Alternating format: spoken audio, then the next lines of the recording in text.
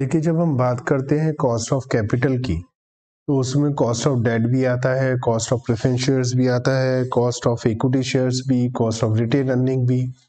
तो अब तक हम कॉस्ट ऑफ़ डेट सीख चुके हैं कॉस्ट ऑफ़ प्रेफरेंस शेयर हम निकालना सीख चुके हैं। अब हमें बात करनी है कॉस्ट ऑफ़ इक्विटी की। जो इक्विटी होती है, जो मेन पैसा होता है हमारे ओनर का, वो उसकी कॉस्ट क्या होगी?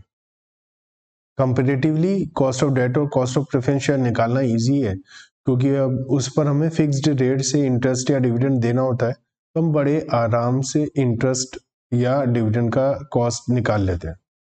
लेकिन इक्विटी शेयर पर जो डिविडेंड है, वो ज़रूरी नहीं है आपको देना पड़े। तो इसकी एक इम्प्लिसिट कॉस्ट होती है एक्सप्लिसिट नहीं होती है तो इसको कैलकुलेट करना थोड़ा सा डिफ़िकल्ट टास्क हो जाता है। Calculation of cost of equity is relatively difficult task because like preference shares capital there is neither any prefix rate of dividend payable on these shares nor there is a legal obligation to pay dividend on them और साथ ही साथ इनका redemption भी नहीं होता है but it does not mean that equity share capital is cost free free में पैसा नहीं आया the cost of the such capital is equal to the expectation of equity shoulders. जो इक्विटी शोल्डर ने हमें पैसा दिया है तो उन्होंने कुछ सोचा है कि उन्हें कितनी अर्निंग होनी चाहिए, कितनी अर्निंग होगी तो वो उनकी एक्सपेक्टेशन ही हमारी कॉस्ट हो जाएगी। Which they expect to be fulfil by the management of their company generally each such shareholder expect from his management to maintain the existing rate of earning and to try to increase the continuously so that market value of his share is increased and he could have more uh, could have the opportunity of realizing the capital gain. तो हर एक को ये चाहिए कि भैया ना केवल जितनी अर्निंग एक्सपेक्टेशन है उतनी आए बल्कि और ज़्यादा है ज़्यादा आने से क्या होगा? सब अगर मार्केट में जितनी अर्निंग एक्सपेक्टेड है उससे ज़्यादा अर्निंग अगर हमारी कंपनी अर्न करेगी तो क्या होगा? हमारी कंपनी का शेयर प्राइस मार्केट में इंक्रीज होगा। और अगर हमारी कंपनी का शेयर प्राइस इंक्रीज होगा तो हर कोई हमारी कंपनी का शेयर परचेज करना चाहेगा और हमारे शेयर का प्राइस इंक्रीज होने से हम महँगा शेयर बेचेंगे तो हमें कैपिटल गेन होगा प्रॉफिट हो जाएगा Hence, while planning for the new issue of shares, the management should ensure that funds so raised should yield at least so much that existing earning per share and market value of such share do not decline. Suppose अभी हम 20 percent की earning कर रहे हैं earning per share twenty percent है। अगर हम नए प्रोजेक्ट में पैसा लगाने के लिए नया शेयर इशू करेंगे और उस पर ट्वेंटी परसेंट से कम अर्निंग करेंगे तो मार्केट प्राइस कम हो जाएगा क्योंकि ओवरऑल अर्निंग हमारी कम हो जाएगी। तो हमें श्योर होना चाहिए कि अगर हम नए प्रोजेक्ट में पैसा लगा रहे हैं, नए शेयर इशू कर रहे हैं तो कम से कम उतनी अर्निंग हो जाए जितनी हम पहले से कमा रहे हैं। This is possible only when earning per share by investment of fund of new share are not below the present earning per share ये तभी पॉसिबल है जब नई अर्निंग पुरानी अर्निंग से कम ना हो। It is thus clear that cost of equity is imputed cost एक इम्प्यूटेड कॉस्ट है इम्प्लाइड कॉस्ट है। सम इम्पोर्टेंट डेफिनेशन अगर हम बात करें तो क्या है? जेम्स सी वैन हॉर्न की क्या है in theory it cost of equity may be defined as the minimum rate of return that the company must earn on the equity finance portion of the investment project in order to leave unchanged the market value of the existing stock. तो ये क्या कह रहे हैं? ये कह रहे हैं, जितना भी हमारे प्रोजेक्ट में पैसा फाइनेंस हुआ इक्विटी शेयर से, उस पर कम से कम उतना पैसा कमाए कि हमारे शेयर का प्राइस चेंज ना हो। वो तभी चेंज नहीं होगा जब एग्जिस्टिंग रेट से हम अर्निंग करेंगे। The copy of the equity share capital is after tax cost हमेशा जैसे प्रेफरेंस शेयर की भी आफ्टर कॉस्ट आई थी, इसकी भी आफ्टर कॉस्ट आएगी। और अगर हमें बिफोर चाहिए बिफोर टैक्स तो हमें बिफोर टैक्स के लिए आफ्टर टैक्स कॉस्ट को वन माइनस टैक्स रेट से डिवाइड करना पड़ेगा। क्योंकि यहाँ पर एक्सप्लिसिट कॉस्ट नहीं है कॉस्ट ऑफ़ इक्विटी इम्प्लिसिट है तो इसके हमारे पास अलग अलग मेथड है। In case of new share अगर हमें न्यू शेयर का मार्केट नेट प्रोसीड नहीं दिया तो मार्केट वैल्यू को ही हम नेट प्रोसीड मान लेते हैं। हमेशा ध्यान रखिए, अगर हमें न्यू और ओल्ड दोनों टाइप के शेयर की कॉस्ट ऑफ़ कैपिटल निकालनी है तो ओल्ड शेयर के लिए हम मार्केट वैल्यू और न्यू शेयर के लिए नेट प्रोसीड लेते हैं क्योंकि नए शेयर इशू करने पड़ेंगे। उसमें इशू एक्सपेंसेस होंगे और पुराने शेयर इशू नहीं करने पड़ेंगे तो ऑलरेडी इशूड है। तो अगर हमें क्वेश्चन में कुछ नहीं कहा यह बताया ओल्ड और न्यू दोनों की वैल्यूएशन करो तो ओल्ड शेयर मार्केट वैल्यू के बेस पर और जो न्यू शेयर है वो नेट प्रोसीड के बेस पर। वैसे तो हमारे पास जो है देर आर फाइव अप्रोचेस जो हमें इक्विटी शेयर कैपिटल के लिए देखनी है। रियलाइज़ यील्ड अप्रोच है अर्निंग यील्ड अप्रोच है डिविडेंड यील्ड है डिविडेंड यील्ड प्लस ग्रोथ है कैपिटल एसेट प्राइसिंग मॉडल है। तो अलग अलग मेथड से हमें निकालना, आना चाहिए। सिचुएशन के हिसाब से अलग अलग मेथड डिफरेंट मेथड्स यूज़ करेंगे हम। क्वेश्चन में जो इन्फॉर्मेशन दी है, कितनी इन्फॉर्मेशन है, कौन सा मेथड लगाया जा सकता है। First one is realized approach according to this approach the average rate of return realized in the past few years is historically regarded as expected return in the future. तो हम क्या देखेंगे? पहले कितनी अर्निंग हुई है? और हम ये मानेंगे कि फ्यूचर में भी इतनी ही अर्निंग की रिक्वायरमेंट होगी। It computes cost of equity based on the past record of the dividend actually realized by the equity shoulders तो जितना हम डिविडेंड उनको दे चुके हैं तो ये कैसे आएगा? हम हर साल जो डिविडेंड दिया है, क्योंकि इसमें रिडेम्पशन तो होता नहीं है तो पिछले कुछ सालों का अगर हम, या आने वाले फ्यूचर में जो जो डिविडेंड देने की उम्मीद है, उन सब की अगर हम प्रेजेंट वैल्यू निकालें, वो आज की प्राइस है। ऐसे ही आज का प्राइस किसके इक्वल होगा? एक साल बाद का प्राइस P1 एक साल बाद का डिविडेंड D1 एक साल बाद का डिविडेंड D1 एक साल का प्राइस P1 इन दोनों को ऐड करके इनकी प्रेजेंट वैल्यू निकालें। प्रेजेंट वैल्यू निकालने के लिए one upon one plus rate से डिवाइड किया वन को मतलब वैल्यू को वन प्लस रेट से डिवाइड किया जाता है। तो यहाँ रेट मतलब कॉस्ट ऑफ़ इक्विटी मान लिया। तो यहाँ से हम इस मेथड से वैल्यू कर सकते हैं। दो, this approach provide a single mechanism of calculating cost of capital.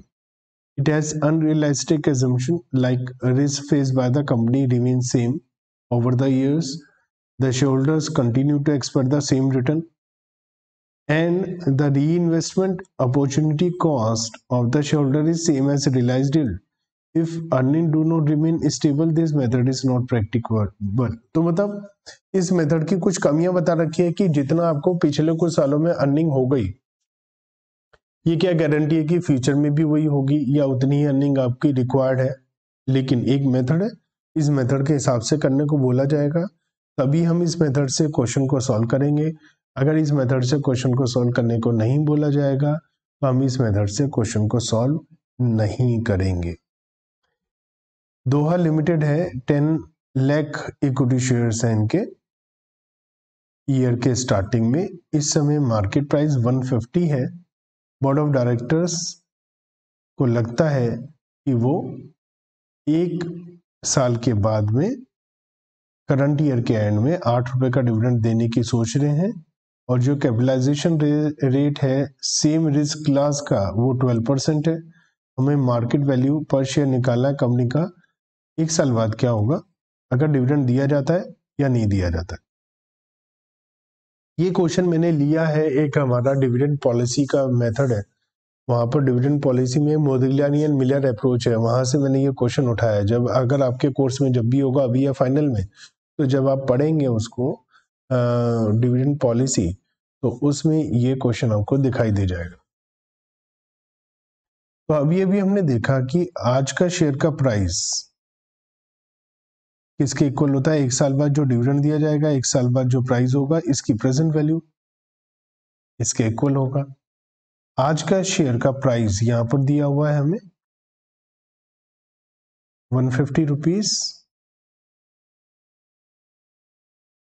one fifty rupees आज का शेयर का प्राइस हमें दे दिया। कंपनी डिविडेंड देना चाह रही है एक साल के बाद आठ रुपए का। Capitalization rate same risk class जो कंपनी का है मतलब कॉस्ट ऑफ़ इक्विटी दिया हुआ है, इसमें सीधा ही ट्वेल्व परसेंट और हमसे पूछा है कि मार्केट प्राइस एक साल बाद क्या होगा? P zero one fifty. अगर डिविडेंड डिक्लेयर्ड होता है तो first if dividend is declared. तो D1 प्लस पी वन हमसे पूछा है और ये one plus K E one point one two P one आ जाएगा वन सिक्सटी और सेकंड सिचुएशन पूछी हमसे, if dividend is not given तो डिविडेंड ज़ीरो हो जाएगा। इवन कितना आ जाएगा? 168 तो ये मेथड हमें हेल्प कर सकता है अलग अलग चीज़ों से। क्वेश्चन नंबर 45 मिस्टर बाली ने परचेज किए शेयर्स जकार्ता लिमिटेड के। इन्हें डिविडेंड मिला है। पिछले पाँच सालों में सौ रुपए का। At the end of the fifth year he sold the share for one one two zero one one two eight इन्होंने वन वन टू एट में शेयर भेज दिया। You are required to compute the price of the share अगर हमारी जो cost है, वो twelve percent हो। तो अब हमें क्या करना है कि वैल्यू निकालनी है। प्राइस कितना हो तो हमने ये देखा है कि जो शेयर का प्राइस है, वो क्या होता है? जितना भी पैसा मिला है, अगर एक बार मिला है वन ईयर है तो हम ऐसा निकाल लेते हैं, लेकिन अगर एक से ज़्यादा बार पैसा मिला है तो उन सब का प्रेजेंट वैल्यू आज का शेयर का प्राइस होता है। तो यहाँ जो क्वेश्चन है, उसमें क्या लिखा है? कि उन्होंने शेयर परचेज किया, यहाँ पर मान लिया ईयर ज़ीरो में परचेज किया, कुछ पेमेंट करा, उसके बाद ईयर ये जो है कैश फ्लो ये कितने का परचेज किया नहीं पता, लेकिन इन्हें वन से लेके फाइव ईयर तक हंड्रेड रुपीज़ मिले और फिफ्थ ईयर के एंड में इन्होंने one one two eight rupees में इस शेयर को सेल कर दिया तो ये भी आ गया। तो ये हमें पता लगाना कितना प्राइस था। वैल्यूएशन ऑफ़ बॉन्ड में भी हमने ऐसे ही किया था, जब भी कोई वैल्यू करनी है, चाहे प्रेफरेंस शेयर हो, चाहे बॉन्ड हो, चाहे डिवेंचर हो, चाहे शेयर हो, ये मेथड हमेशा काम करेगा कि जो भी उससे फ्यूचर में जो भी पैसा मिला, उन सबकी प्रेजेंट वैल्यू का सम ही आज का प्राइस है। तो क्या होता है ये? प्रेजेंट वैल्यू क्या होता है? Cash flow after one, year upon one plus rate की power one, plus cash flow after two year on one plus rate की पावर टू, ऐसा चलता है। जितना भी टाइम हुआ। तो हमसे प्रेजेंट वैल्यू अगर हम ये निकाल लें कि कितना शेयर का प्राइस था, ये निकालने के लिए सब फ्यूचर वैल्यू का प्रेजेंट वैल्यू निकाल लेते तो क्या क्या निकाल लेते प्रेजेंट वैल्यू निकालने के लिए हमें पता चल गया कि इन्हें क्या क्या मिला था। तो प्रेजेंट वैल्यू फैक्टर निकालते हैं। एक से पाँच साल तक का है, हमारे पास दो रास्ते हैं। या तो हम one two three four five को सबको पाँच को अलग अलग लिखकर हंड्रेड का अलग अलग प्रेजेंट वैल्यू फैक्टर से मल्टीप्लाई करके निकालू। या मुझे पता है कि एन्यूटी होता है। एन्यूटी की में प्रेजेंट वैल्यू निकालने के लिए मुझे क्या करना पड़ता है? एन्यूटी को प्रेजेंट वैल्यू एन्यूटी फैक्टर से मल्टीप्लाई करना पड़ता है। या एन्यूटी हंड्रेड है तो प्रेजेंट वैल्यू एन्यूटी फैक्टर क्या हो जाएगा? प्रेजेंट वैल्यू एन्यूटी फैक्टर होता है one minus one upon one plus R की पावर एन अपॉन आर तो यहाँ क्या हो जाएगा? One minus one upon one point two, one point twelve की power five upon point one two. देखें सॉल्व करके क्या आया? One divide by one point one two calculator में लिखा, फिर उसे one, two, three, four, five करा, minus one divide by point one two. Three point six zero four seven seven. ये three point six zero five हो गया। और fifth year का present value factor one divide by one point one two की पर five one two three four five ये आगे zero point five six seven four तो zero point five six seven तो ये आ गया मेरे पास, मैं इसकी प्रेजेंट वैल्यू निकाल लेता हूँ। हंड्रेड को मैंने three point six zero five से मल्टीप्लाई किया तो थ्री सिक्सटी पॉइंट फाइव आ गया। और वन वन टू एट को मल्टीप्लाई किया पॉइंट फाइव सिक्स सेवन से। ये आ गया six thirty nine point five seven six तो फाइव एट। इसका मैंने टोटल कर लिया। तो one thousand point zero eight मतलब वन थाउज़ेंड रुपीज़ में शेयर खरीदा होगा। और उसका price one one two eight हो गया। और बीच में हमें सौ सौ रुपये हर साल मिले। ये तभी पॉसिबल है 12 परसेंट की रिटर्न तभी पॉसिबल है जब हमने ये शेयर वन थाउज़ेंड रुपीज़ का परचेज किया हो।